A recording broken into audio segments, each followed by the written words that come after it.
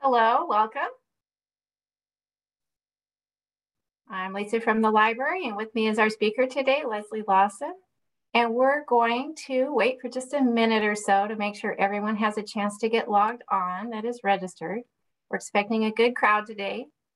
Um, thank you so much for registering. I'm very excited about the topic and the speaker today. And I think a lot of you were too, because we got a lot of registration. A um, couple of housekeeping things today before we get started. This will be um, a CLE credit presentation today. So those of you who are looking for the certificate of attendance will see that by email later today. I just need to go into Zoom after the webinar and verify uh, who actually was in attendance before I send those out. Um, this is an interactive presentation today. So Leslie will be taking questions and we ask that if you have questions, you use the Q&A function in Zoom for that. Um, nice thing about Q&A is you can make your questions either with your name or anonymously, whatever you're comfortable with, but please uh, feel free to use that and we'll try to get to as many questions as we can today. Um, also, we do have a brief survey we would like for you to take to give us feedback at the end. Be looking out for a link to that. And we'd appreciate any of you who take a minute or two to take our survey. So I think with that, I think we've got a number of people signed on now, I'll go ahead and introduce our speaker today, Leslie Lawson. So grateful to have Leslie here today for this interesting topic and certainly nothing that I'm aware of the library has ever had a presentation on before, uh, which is forensic genealogy. Um, and Leslie certainly has a lot of credentials in the, on this subject. She um, is a forensic genealogist who specializes in locating missing heirs, identifying unknown heirs, probate research, due diligence, and kinship determination. She has a number of credentials with several professional associations, including past board member of the Association of Professional Genealogists, past president of the Council for the Advancement of Professional, uh, I'm sorry, of Forensic Genealogists, and immediate past president of the Oregon chapter of Association of Professional Genealogists. She is coming to us from near Portland today, where I, I understand the pollen is really going crazy. So she's also having some allergy. And uh, we hope we can get through this today without you having an, an allergy attack. So thank you so much for being here and I'm gonna disappear. All right. So here's hoping everyone can see my screen clearly and it looks good, Lisa, I hope. Looks great.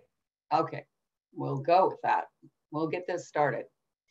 Uh, the first thing I'd like to do is thank you for inviting me to speak with you today.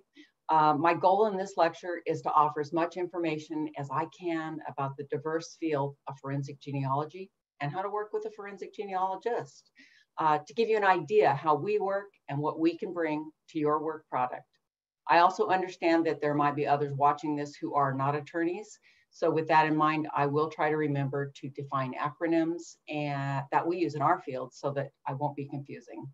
Um, and as my disclaimer here reads, I am not an attorney and I cannot give legal advice. And as a reminder, this work is in fact copyrighted. We will do Q&A here and there through this lecture if uh, that works for you folks. Um, usually most folks wait till the end because I'm gonna cover a lot of ground. I've got 47 slides in this deck. And so I hope by the time I get to the end, I will have answered many questions that might come to mind as we're going through this. Michael Ramage, an attorney and a board certified genealogist, is a leader in our profession, and he defines forensic genealogy as including the genealogical research, analysis, and reporting in cases with legal implications, often involving living individuals. The term forensic genealogy is getting a lot of airplay these days. Most people think of forensic genealogists as working with law enforcement to solve cold cases and catch criminals through DNA analysis mixed with genealogy. Along the same lines, some forensic genealogists use DNA to solve adoption and birth parent cases, while others have been involved in some surprising sperm donor cases. In our business, we use the term for those people investigative genetic genealogy, or IGG. And that's the way we refer to those colleagues who do this kind of work. But there are other very practical applications of genealogical research at the service of the legal community. And those are cases that you are more likely to be involved in. These include probate, intestacy, missing heirs, elder care, and real estate, quiet title, and perhaps even mineral rights. These are areas which, of course, deal with property rights and heirships. Anytime people need to prove kinship for a legal reason, a forensic genealogist can help. Now, these are the specialties you see listed on this screen. I don't know of anyone who does all of these things. We each specialize in the things that we feel the most called to. So in my case, I spend most of my time on the first bullet point. There are a number of people who find it helpful to hire a forensic genealogist. I have colleagues who do work locating missing people to pay out money for oil and gas payments, and others who do quiet title searches to enable the purchase of mineral rights or to ensure that a property transaction can move forward, forward legally.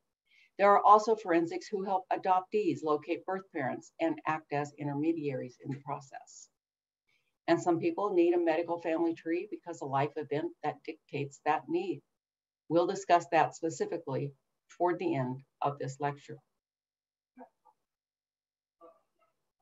Let's start with a short lesson about genealogy and how we establish those who stand to benefit from an inheritance and why. This is a table of consanguinity, and it provides a view of family relationships. This one is included in your handout. I wanted you to have a copy of this chart so that you will have it in your hands as a means of seeing how we link people together. We use direct evidence and indirect evidence to make family connections. If you attended the library's MCLE course in September on conservatorship from start to finish, presented by the Legal Aid Society of San Diego, you've already seen a version of this particular table.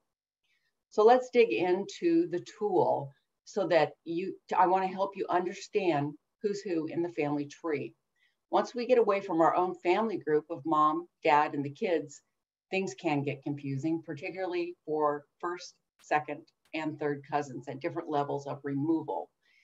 The easy way to think of a cousin removed is whether the person is of your generation. And if not, they are removed by one notch. You move that notch up or down a generation depending upon who you're looking at. And let me clarify a term which might be unfamiliar to you, nibblings. And I'm going to highlight that. It's right here. It is one row up from the bottom next to children. This is the gender neutral term for nieces and nephews, which we have been using for a few decades already. This covers your siblings' children and evens up the terminology with children in one lump. And this view of the family tree, of course, represents a family with no divorces, no remarriages, endogamy, half siblings, stepchildren, or misidentified parents. From being overwhelmed by family, cousins, and all the removed people, we narrow our field of search by who the law defines as being in the lawful line of inheritance. The person in black in about the middle, right here, is our deceased person that we're starting all of the research with. We add the information you're able to provide us, and then we dig into the records. Most states require us to go back only to the grandparent level and then bring the lines forward to today. We begin this work with all the information that can be provided by the attorney, the personal representative, also known as the PR, or the person in charge of the estate. Then we fully investigate the deceased and build their database into a genealogy program.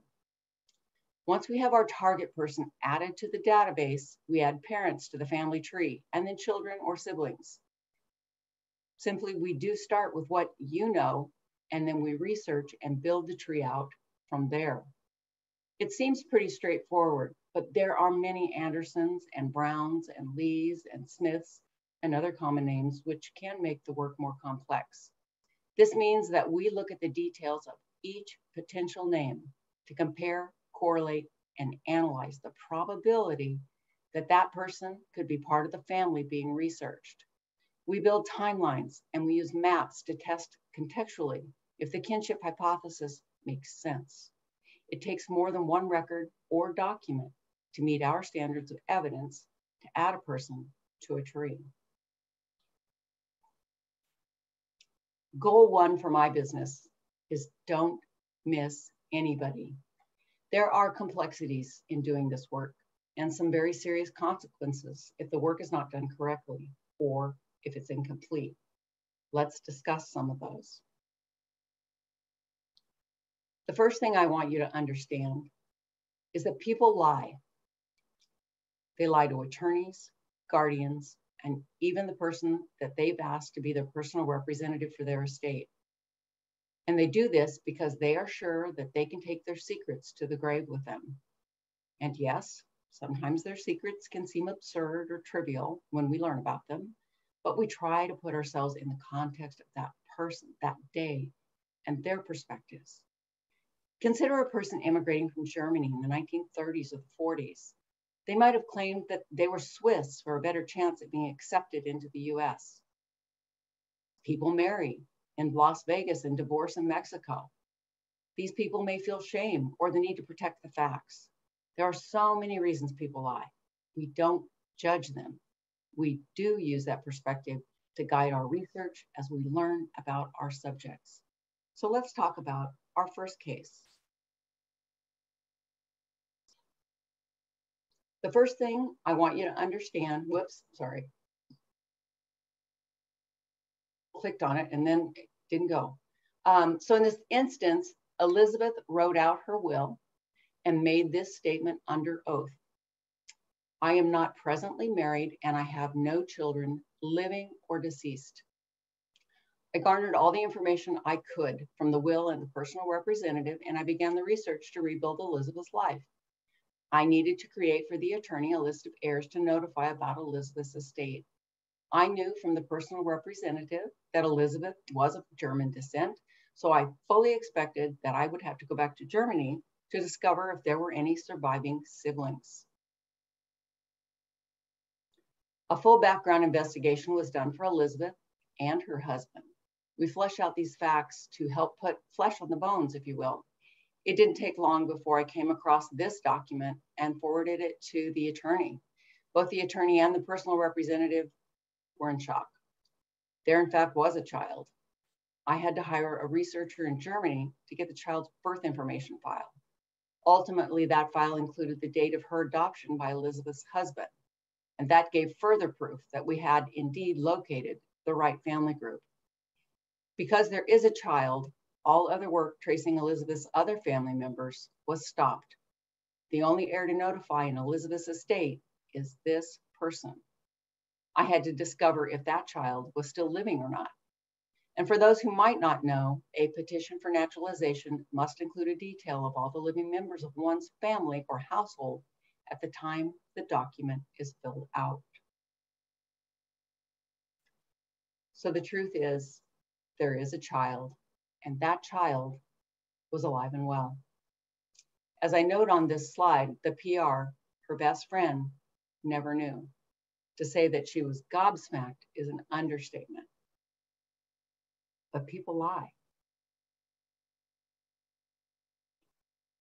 The next case we're going to discuss is about a fellow who was in hospice. His time was very short, and my work needed to be done as quick as I could make it happen. This fellow was physically and mentally in severe decline, but I had to figure out who his family members were before he died so that the guardian could file the probate in a timely manner with all the heirs notified, I, to notify, identified in advance.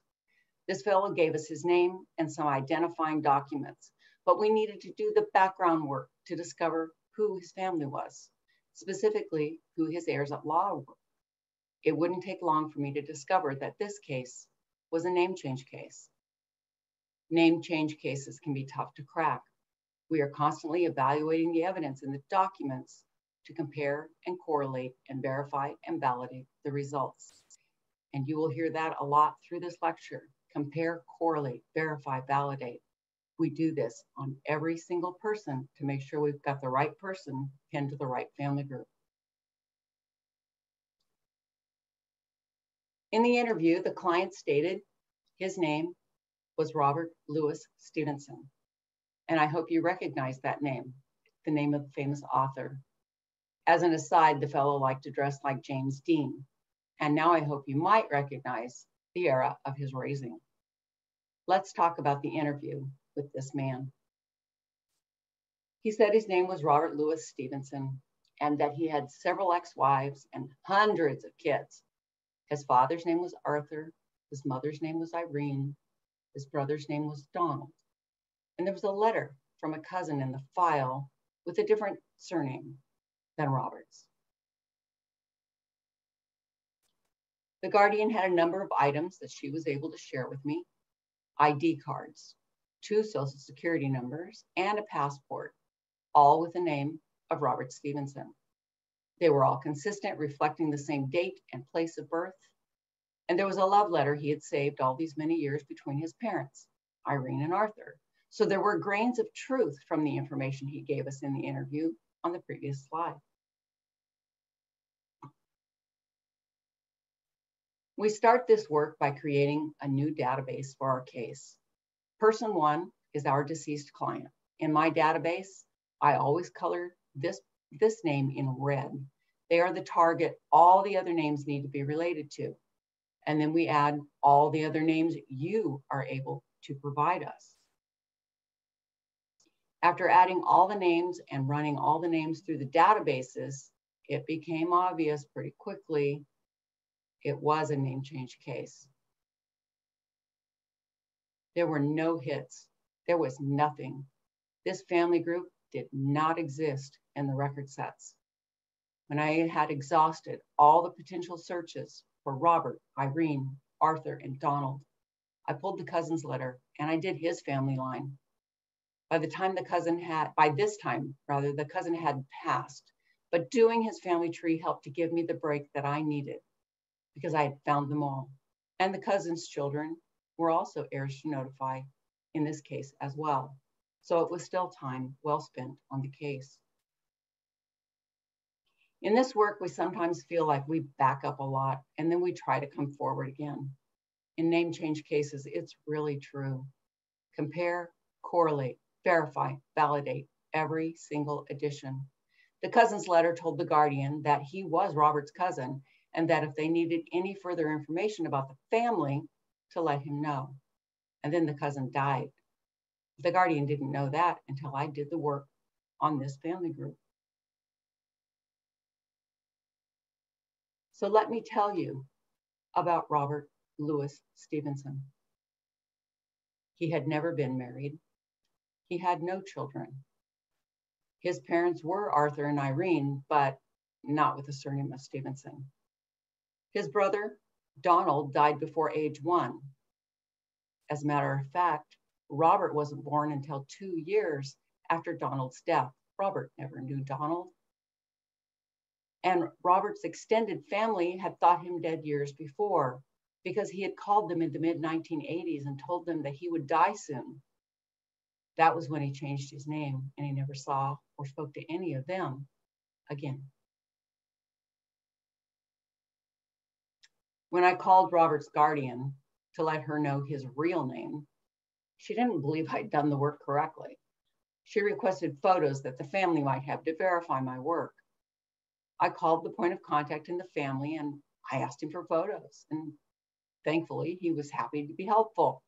He scanned and emailed a number of them for me, and, and I forwarded those to the Guardian. My phone rang minutes later with the exclamation of, Oh my God, it's him. Indeed, it is. The Guardian had me get the photos printed and mailed to her. Once she received the physical photos, she took those with her to do an in person interview and visit with Robert. When she walked into his room, she called him by his birth name. As you might expect, he was surprised and his eyes grew fairly wide upon realizing the guardian now knew his secret. She went on to tell him that she knew who he was and that he had been in touch, or that she rather had been in touch with the cousins. Additionally, the cousins had sent photos for him, and she began sharing those photos I had sent to her one by one. One of the photos was of was of a favorite aunt and uncle. And I was told that when she showed him that photo, he quickly snatched it from her hands and hugged it to his chest as the tears rolled down his cheeks. And the addition of work that I did on this estate, the family also received a medical family tree because there were medical issues within that family and they wanted the tree to go with uh, the genealogy. Here's another instance of a lie. What we don't know is whether this was identity theft or not. I'm inclined to believe that it was. This fellow's birth name was, in fact, Paul Frank Allison. By 1940, his mother had been married a number of times, and as was common in that era, children were given the surname of the most current stepfather. By 1940, both he and his mother were using the Hanifin surname. In the examples on this slide, we have two different social security numbers and two different death dates. The databases tie these two people together with totally different names, but records reflect the same date and place of birth. They also reflect the same parents. On one record, the father is Benjamin, and on the other record, it's Frank. As was very common in the previous centuries, many people were called by their middle names instead of their given names. The father's full name was, in fact, Benjamin Franklin Allison, otherwise known as Frank to everyone who knew him. The record on the right reflects the birth name, but you'll note that Social Security made a note that right here, evidence other than birth records submitted, US citizen or alien allowed to work. This information, along with the odd death date, makes me believe that this might have been identity theft. I have the death certificate for the fellow on the left. The one on the right I'm back to believing that it was identity theft. So let's talk about another case. This is more a case of half truths. The will states, I hereby declare that I am a single person, my wife having divorced me many years ago, that I am the father of three children, all deceased, that I have two grandchildren and three great granddaughters. So let's unpack that statement. He stated that he was the father of three children. Well, factually, he was the father of four children. The next statement that he had two grandchildren was accurate. He went on to state that he had three great granddaughters. Factually, he had two great granddaughters and one step great granddaughter. That fourth, fourth child, who was still living when he passed, was acknowledged in a codicil her father left her $10. The father was 43 when his youngest child was born, and the mother of that child was a mere 16. Again, people and families are unpredictable. They lie, they act out, and sometimes they change the facts, even if it is a legal document. This next case is a little nod to San Diego history. It's not my case, but a piece of history to highlight that probate has always had its challenges. Sometimes people write their wills later in life, and then they try to go by memory. Mary Chase Walker Morse stated that there were four nieces. In fact, there were five. I'm more inclined to believe this case was an issue of getting older and not clearly remembering how many nieces she had when she was putting her affairs in order. And keep in mind that we also see gaps in family knowledge due to the ability to more easily move for any reason. Many families sprinkled themselves across the country for work or other opportunities or for sunshine and warm weather. Many went far, far from home. Up until the 80s and even the 90s, keeping up with family members meant taking time to write letters or make expensive long distance phone calls or not. Once the connection is broken, it's rarely reconnected until a genealogist comes along. And as noted in this slide, this will is referred to as a holographic will. Simply, that means that the will is handwritten by the individual and signed by them, excuse me, signed by them as well.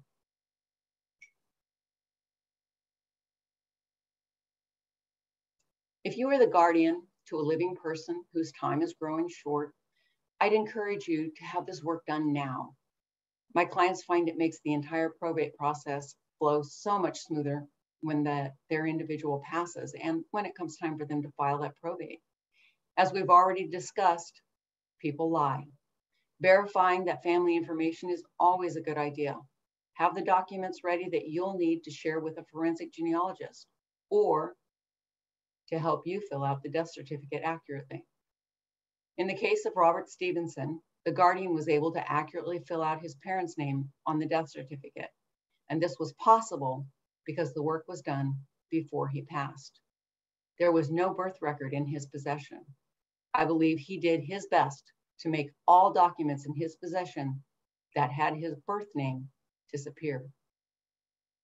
It was his intent to take his secret to the grave with him. So let's take a minute and discuss what a forensic genealogist does. We gather a lot of clues from all of the documents that you're able to provide us. We create a research plan so that we can achieve success for your research request. We have research logs and client databases that we keep all our notes and we correlate all our data. We conduct research online as well as through live resources so that we can analyze and correlate the data and deliver the findings as is the requirement of the standards of my profession. And we prepare affidavits, due diligence reports, and charts for use in the court or elsewhere as defined by the client. These are some of the products we use. These are our tools, but we rely on experience, curiosity, and lateral thinking to put ourselves in the path of our research subjects. I also wanted to make sure to cover the databases we use to do this work. There is no one place online that has everything we need to do this work. We do a lot of compare, correlate, verify, and validate between each of these databases. And keep in mind that not everything is digital. All of my cases involve calling research facilities and people affiliated with the case. As for genealogy software, I used RootsMagic, but there are a host of other different options. You pick the one that works for you. For databases, these are the big four. Then we need to go deeper, and sometimes we need to seek out state and county resources as well. We all use newspapers. I have a number of newspaper subscriptions. And we see we search out cemeteries as well. If we were trying to locate a particular person in a particular cemetery, we're going to be calling those cemeteries in hopes of finding the person we're looking for. There are people finding databases that help us locate living people, and we use both paid and free. And we use Google because everybody uses Google. It, it is a helpful thing. And like you, we use email, phone, and even fax. And continuing education is a requirement for us all. I've given additional information in your handout should you wish to learn more about becoming a forensic genealogist yourself. So let's talk about skill sets in doing this work. There will be those who try to do this work who are not trained in this field. For those trying to break into the forensic field, you need to make sure you are skilled and trained in the basics.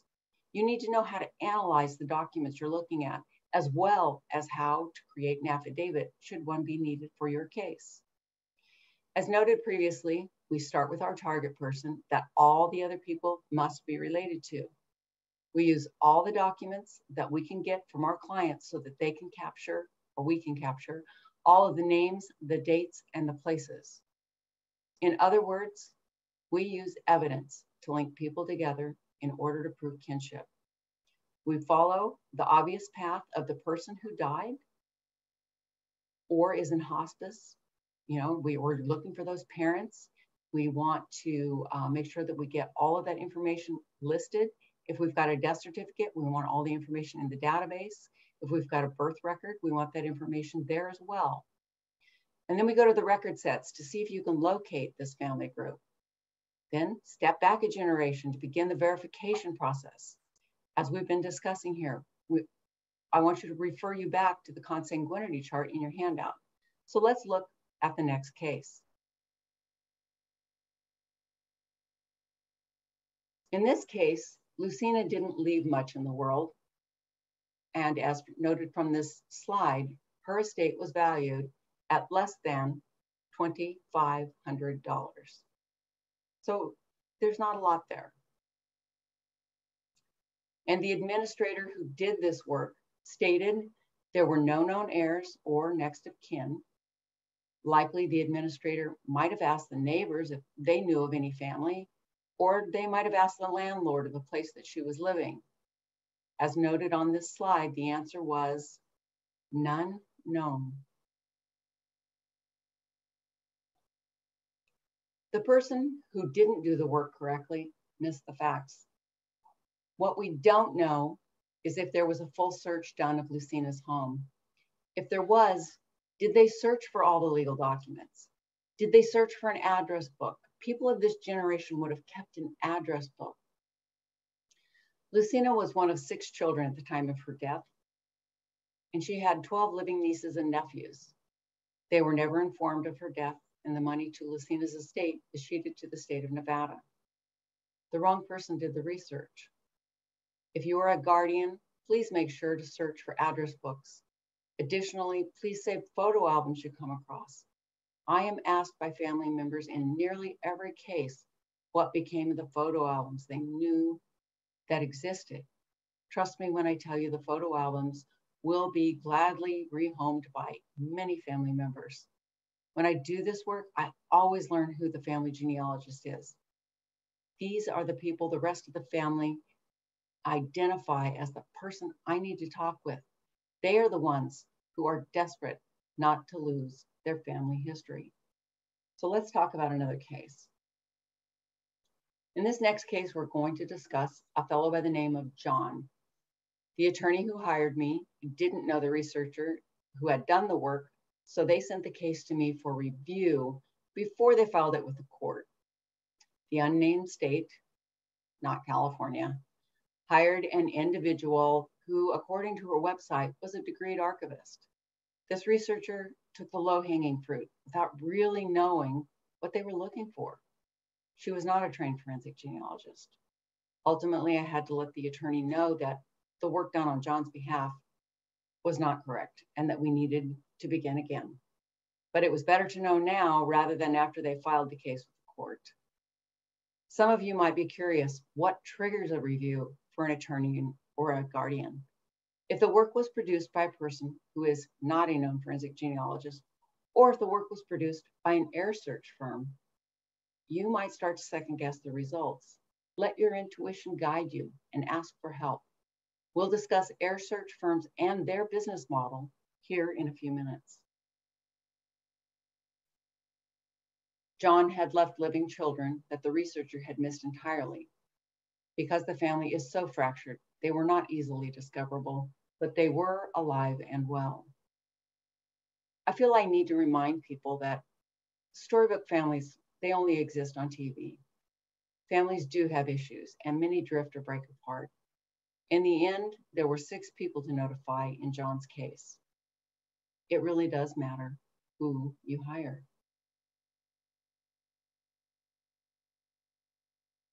Where to find forensic genealogists? The first place I generally send people is the Association of Professional Genealogists, or as we call it, APG. At this point in time, there are more than 2,300 members of APG worldwide. There are many others doing this work who are not members of APG. But to clarify, those of us who are APG members sign a code of ethics, and we must complete yearly continuing education hours. And if our clients have a problem with our work, they can submit a complaint with APG to have their concerns reviewed. Whether you hire an APG member or not, I would always encourage you to interview the people you're thinking of hiring. As you interview this person, you need to know if they have the skills needed based on what you need as a final work product. I have some clients who absolutely must have an affidavit as an end product. Asking the prospective researcher if they have ever created such a document is a legitimate question. Asking them how many cases they've worked on or how much experience they have in the forensic field are also fair questions. As to heir search firms, I'm first going to refer you to the handout. I will add the caveat that APG doesn't have professionals in every corner of the world. Heir search firms don't either. But if there is not an APG forensic genealogy in that geography that you need one, an heir search firm might be willing to take on the project for a percentage. I'll discuss the business model for the heir search firm in just a moment. Additionally, as noted as the last item on this slide, Ancestry and Legacy Tree are newcomers to the field. Both offer to do this work, but their business model is to sell research packages. So let's first talk about the forensic genealogist business model.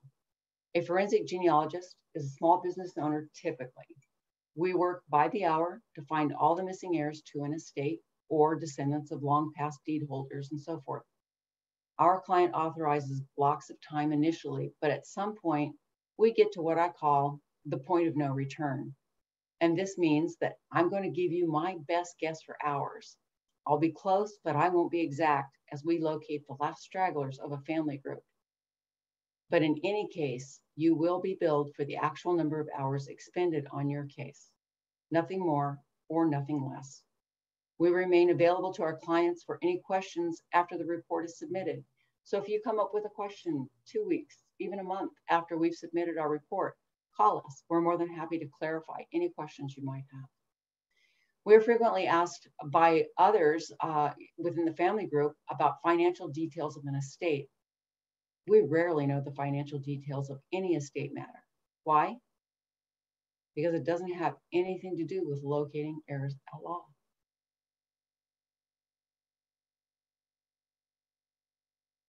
Okay, so let's take a minute now and discuss heir search firms' business model. The trigger for heir search firms are the cases that are filed in the courts with the words unknown heirs or heir search underway. Simply, if you don't have a list of heirs to notify in your case, that heir search firm is going to be in hot pursuit of those people you need to notify. They are in a race with you to get to the heirs before you do.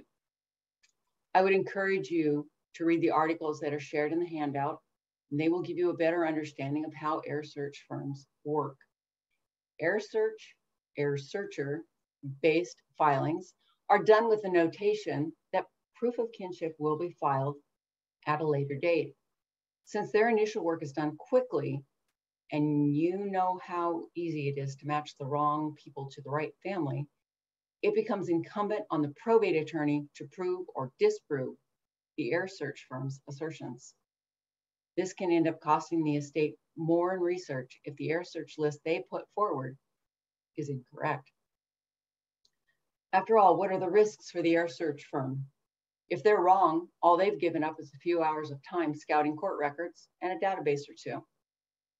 Be aware that in some countries, the heir search firm is the primary business model for finding missing heirs, and they work hand in glove with the legal and notarial professionals. In those countries, I believe this is a reflection of the fact that they have to wait until the, the estate is settled to get paid, which can take a while. And so they gamble their time against an unknown payout and the risk of potentially receiving nothing or just enough to cover costs all of my repeat clients have me review any cases that an heir search firm has created. Those clients need assurances that no one was skipped. So as previously noted, the work is essentially done twice. Why? We're back to goal one. Don't miss anybody. Regardless of who did the work, we need to make sure that no one is missed or left out.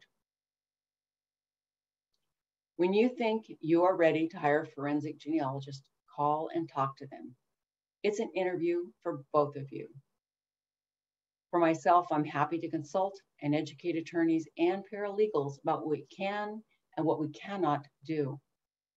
The professional should be able to provide you with a contract and a rate sheet that outlines their hourly fee as well as potential costs should they need to purchase something on your behalf.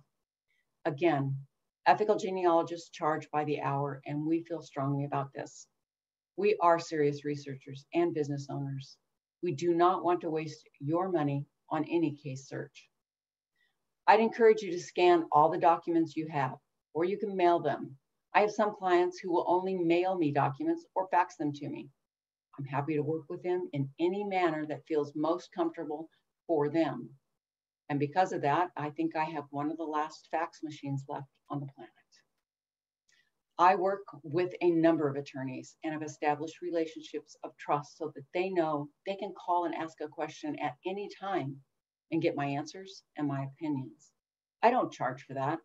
I value the opportunity to weigh in early in the event of a, a gnarly, time consuming case, or even if there's a no there there.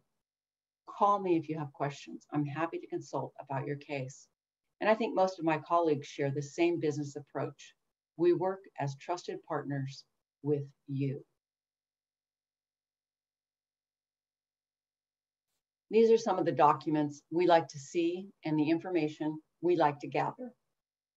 Our goal is to move from fact finding to discovery. Each document you're able to share with us allows us to put family groups together. From this list, you can see we quickly move into discovery mode.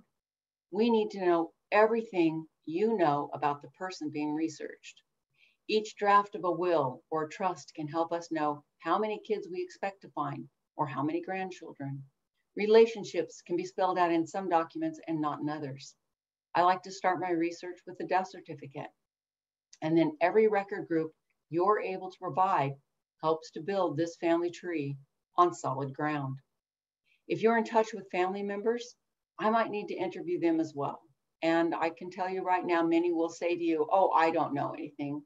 In fact, they know so much more about their family than they even realize. Please know that every family has a branch that doesn't talk with others, my own included. And some families are very fractured and broken and totally unaware of who they are related to at all. The professional's contract should outline for you what the end product possibilities are. In this field, we work to the end product. I know that if I receive a case out of New York or Texas, the end product is an affidavit.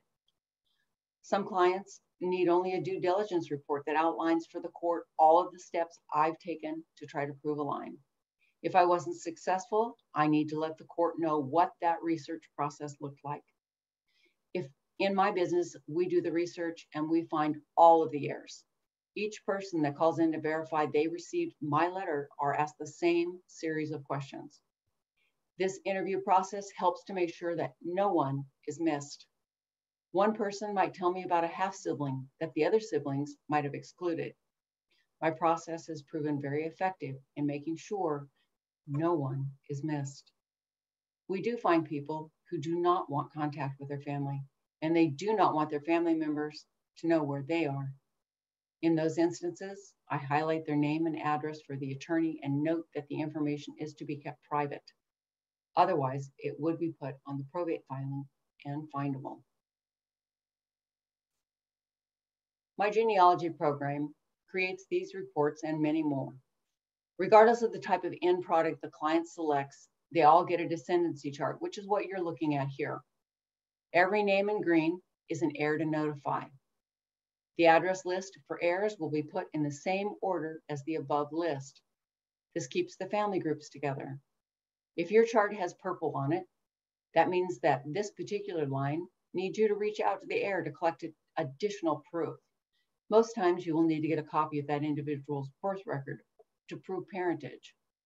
And please know that I'm happy to change colors that I use. I've, I've got a number I can pick from in my program if you are one of the millions of people who are affected by color blindness. And some attorneys want a wall chart, also called a box chart. One of the firms I work with want the descendancy report in the court records as it uses less paper. But they want the wall charts so that they can clearly see the lines and what generation the individual heirs are located on. You can have both types of reports. You only need to let me know that you want them both. The computer program creates them and it's as easy as pressing a button. And again, if you need me to use different colors, You need only ask. People have different reasons they might want or need a medical family tree. The ones I've been asked to create were for legitimate reasons. The first family wanted to know what family line the schizophrenia entered their family on, which lines were affected and which weren't. The family wanted to know the cause of death for each family member from their generation back to uh, the grandparents. The goal was to have four generations in total. Additionally, they wanted to know the cause of death and the contributing causes of death for their ancestors. This gave them a clearer understanding of what they have inherited from the previous generations. This also is helpful for adoptees to learn about birth families. They need this information for themselves so that they can share it with their physicians. If you have a DNA problem, I have a specialist I'm going to refer you to. If you have an oil and gas need, I have a specialist I'm going to refer you to there as well. Both of these fields are really pretty specialized. So you need someone who is trained in those fields to bring you the most value. I'm not that person. Military repatriation, what is it? It is the finding of living family members to test to get a soldier who died in the field home to his family. The military is still working to identify soldiers from World War II and Korea. I don't know if they've yet started working on family members for Vietnam vets, but I expect they have. Surprisingly, not everyone who is contacted in these cases wants to help. One of the cases I worked on years ago caused me to go back to the third cousin on the paternal line. Those people didn't know the soldier, but they jumped at that chance to bring one of their own home. If you go back to that consanguinity chart, you'll note that the common ancestor with a third cousin are your great great grandparents. Social Security, that was an interesting case to work on. Some people need to prove facts in their lives, and the woman who hired me needed to prove that she had never been divorced. Thankfully, she never left her home state, and her husband moved to the East Coast and stayed put in one community as well. He married and stated he had never been divorced. A full search for both marriage and divorce indexes was undertaken for both parties. I submitted a due diligence report to the client who filed that report with Social Security. Social Security did their own investigation and discovered the same information I had. The woman had never been divorced, and she received a nice large check based on her husband's Social Security record. The second wife had married before she was legally allowed to, so she had her own explaining to do to the authorities. It seems she had married about three weeks and six days before her required waiting period had ended on her own divorce. And then there was the problem of explaining to Social Security why she had married a married man. We do work on some strange cases sometimes. All requests approved or denied, all requests that are made to me are approved or denied based upon whether I feel the request is in fact legitimate. So let's talk about another case. I do get a number of these type of cases every year. In the examples we're gonna see, we're talking about a piece of land that was not properly described in a deed in the 1922 version. I had to figure out the family lines of three people for this particular case. They were tied to each other by marriage. They were the last people owning the land before it was improperly described in the 1922 deed. And I don't yet know what kind of process will be taken to correct that deed. The backstory is that a woman who owned the land deeded it to her husband in her will. He remarried and deeded it to his next wife on his death. And the last woman standing sold it, and it was incorrectly recorded in the 1922 deed record. So here are the surveyor's uh, descriptions of the land they each wrote this land description differently, but I can assure you, I poured over both of them and the land was properly recorded on both of these documents. The short description on this particular piece right here was missing some key pieces from the land description that were on the previous documents. Now this case, as I said, has yet to be resolved so we don't know what the court's going to do to fix it. because we have the additional problem of standing here in 2021, almost 100 years have now gone by. And now we add to the problem because now 100 years later, the river has changed the land as well. So the attorneys, the surveyor's office, and the court are going to have their work cut out for them in an effort to get this particular deed fixed. This is the last case, but added in for fun as long as we're talking about land and deeds. The link to read more about the church in New York is in your handout. I've worked on two reverter clause cases. Both were school districts. Uh, one had sold the old school, and when the research was done in the county deed records, they discovered much too late that there was a reverter clause on the land, and I had to locate all the descendants of a couple who had died at the start of the last century. In the second case, they listened and uh, took my suggestion and pulled the original deed. All work was stopped when they discovered that the reverter clause was on that deed. The message in italics on this slide is pretty standard verbiage for reverter clauses. You can exchange church for school and still get the message very clearly that the property would revert to themselves, that being the original owners or their heirs if it were to be used for anything other than the purpose of a meeting house or a school they got to choose the language when they donated the land. And just like churches, many schools were started by that property owner deeding to the school that little section of land. The key to avoiding avoid running into this problem is to always pull the original land deed before you think you want to go through with a sale. Always pull that original. It might be worth mentioning that I'm discussing cases and events outside of California and the reason is that it is rare that a case stays in one location or one state. As we trace people out and up the family tree, our research typically takes us into other states and sometimes internationally. Prior wills and probates may be found elsewhere, which may also figure in to your case. And the truth of the matter is that sometimes, but not often, our research leads to a dead end. And you need to know up front that can happen. Most of the time, the people we cannot find are people who do not want to be found. They live on the edge of society and may have addictions, mental and or physical issues, or running away from someone or something. They fall between the cracks, and unfortunately, it has to be said, some are displaced against their will. Sometimes their family don't know if they're alive or dead. All they know is that the person hasn't been seen in 20, 30, 50 years, and there's just no way for us to even get a tiny hint as to where they might be. In this case, a private investigator might be of help or not.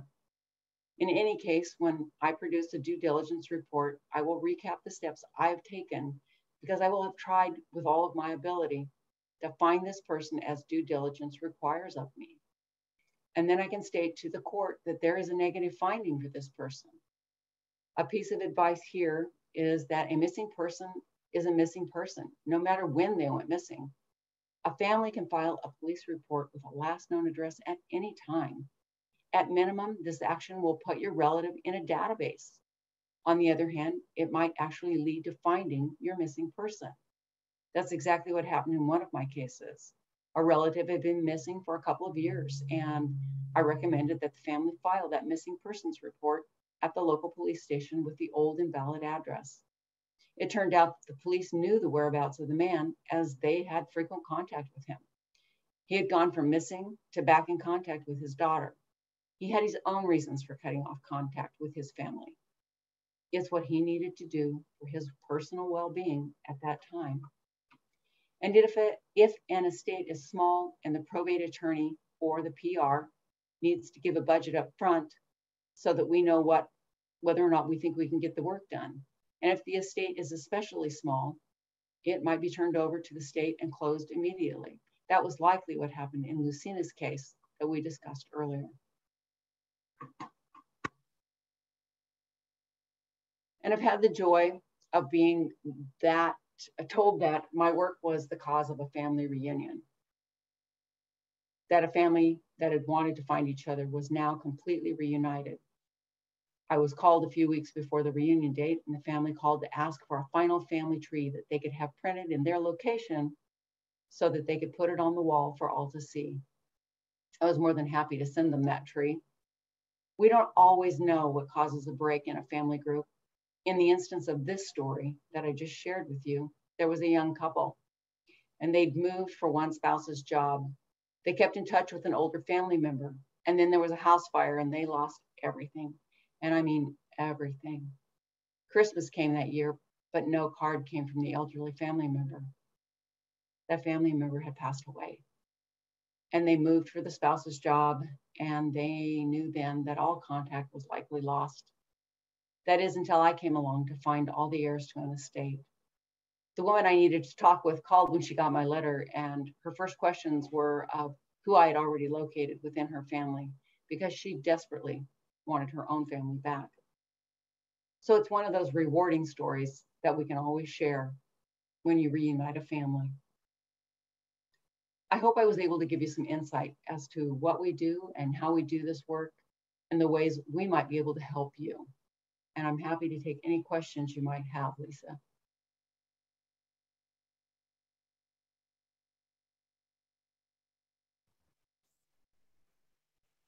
We do have a couple of questions. Let me read those for you. Um, I'll just, uh, one thing I wanted to note is I have gotten a couple questions about whether this recording will be posted um, after the, the fact today, and it is going to be posted on our YouTube channel. So um, I just wanted to answer that question for anyone who might have it. Um, so first question from an anonymous attendee, are you able to identify whether someone acquired US citizenship or only obtained a green card? Is that something that you would? That depends on the time period. Mm -hmm. Um, it, it really is totally dependent on the time period. Some of the databases that are online now have uh, copies of uh, naturalization citizenship paperwork, or it will point you in the right direction for naturalization paperwork, but it really is dependent on the time period and the state, of course. Not all states and time periods are created equally. So here's another question from an anonymous attendee. It's a little long, but I'll try to read it quickly here. A client asked for help proving that her mother was a purchaser of a cashier's check for several thousand dollars made payable to the decedent's name that was forwarded by the bank to the state claims department after death. Since the receipt or copy of check could not be found among the mother's belongings, the state refused to turn the amount over to the decedent's heirs, saying that the check could have been purchased by anyone with the mother's name across the country. Is this a, something that a research firm like yours could help resolve? I don't know. It doesn't sound like something I would typically try to chase down. Um, I've, I've never heard such a circumstance, so that wouldn't that would be interesting just to chase it, but I I don't know. and uh, uh, a follow up on the first question about the green card is that, that regarding the green card, the decedent moved to the U.S around the 1950s and left in the 1980s. So I don't know if that helps to answer that question. No, that's that's a tough era simply because we we wouldn't have ships passengers lists by then. We we won't have that availability to compare the records. So it it would be tough to to track that one down.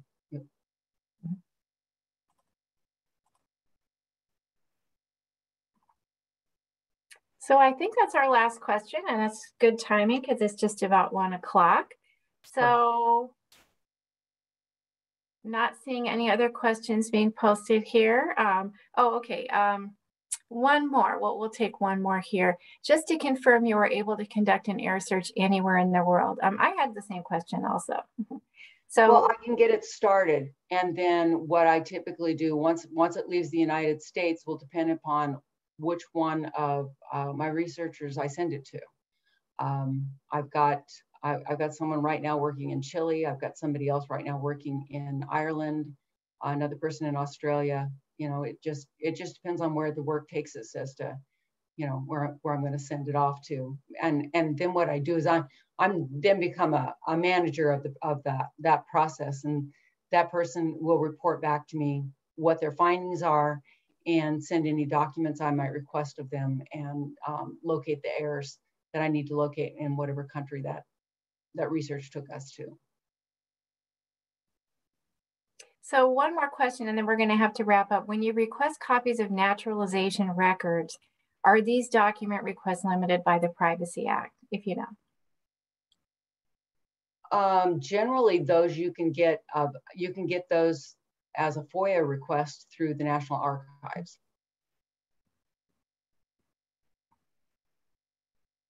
All right, well, that'll wrap things up. Um, thank you so much, Leslie. And you can see here, um, everyone, her contact information on the last slide if you're interested in following up with her at all. We really appreciate your time today. Very interesting topic. And uh, that'll do it. Thank you very much.